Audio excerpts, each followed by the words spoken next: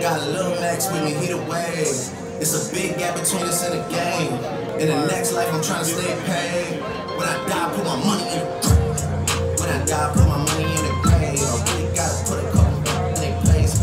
Really just